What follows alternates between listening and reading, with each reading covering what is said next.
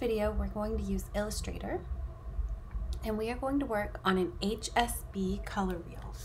H standing for hue, S for saturation, and B for brightness. So I'm going to create a new file. I'm going to make it 8 inches by 8 inches with an RGB color mode and say create. All right, so first we're going to zoom out, which is command minus sign.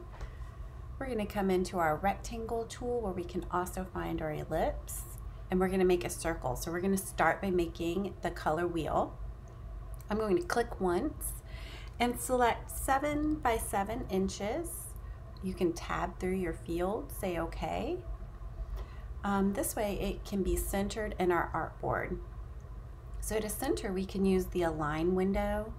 You can see you have the option align to artboard and you're going to do a horizontal align center and a vertical align center.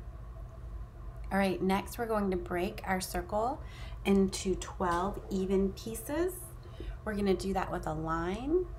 I'm going to click and drag holding down shift on my keyboard to make sure it's centered or straight.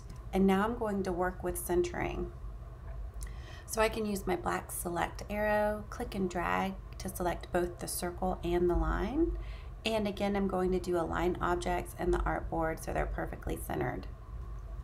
All right, now I'm going to select just the line and we're going to use object transform and we're going to rotate. So 360 divided by 12, we're going to do 30 degree increments. In the rotate pop-up window, I'm going to use copy, which is going to make a duplicate of the line, leaving the first line where it is. You can uh, click on and off preview to see what your settings do. So I'm going to click copy. You can see I have two lines now. So now I could say um, transform, rotate, and do it again and click copy. Or I can do the shortcut of transform again, which is Command D as well. So I can now push Command D and I now have all of my lines in place. So next what we're going to do is we are going to divide and we're going to turn it into live paint so that we can put colors into these pie slices. So I am clicking and dragging across and pulling up my Pathfinder window, which if it isn't there, it's under Window Pathfinder. Look for the check mark. And I'm going to use the divide tool. All right, so now it gets rid of all the lines on the outside and I have these spaces. I'm going to use the live paint bucket it's under that shape builder tool. For this whole shape, um, I'm gonna need to have it selected. I'm going to grab my live paint and when I hold it over it, it says click to make a live paint group. I'm gonna click once. Now I have a live paint group where I can fill each pie slice with a color. All right, so let's start with colors. I'm gonna go to a shape, make a circle. It's default white and black right now. I'm gonna turn off its stroke come into its fill, double click. So when we have a color picker, you see that we have HSB, which is the hue, saturation, and brightness. We have RGB, which is our light colors, red, green, and blue. We have CMYK, which is our ink colors, cyan, magenta, yellow, and black, and we have our hex colors. All right, so we are going to focus on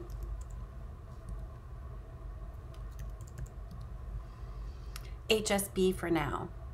So um, our colors are going to use this rainbow strip and we're going to move in 30 degree increments. Saturation 100 and brightness 100 gives us our color. If I change my saturation to zero, it's going to be white, no matter what the color is. So you can see I've now moved up into yellow, it's still white. Let's bring it back to 100.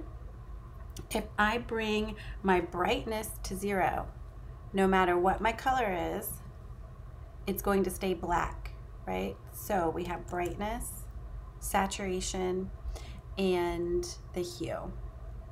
All right, so we're gonna start with orange, which is 30. Okay, so now we're going to use our live paint bucket and we're going to put orange. All right, now we're gonna come into our color, add 30, so now we have 60 with our yellow, add 30, 90.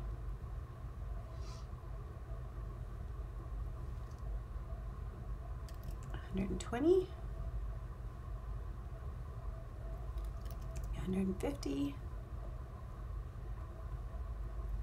now hundred and eighty,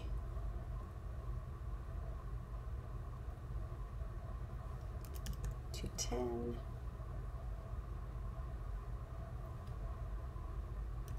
210, 40,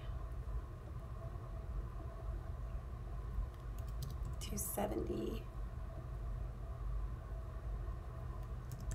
300. If you click tab and you move to the next field, it will show what your color is going to look like up here. 330.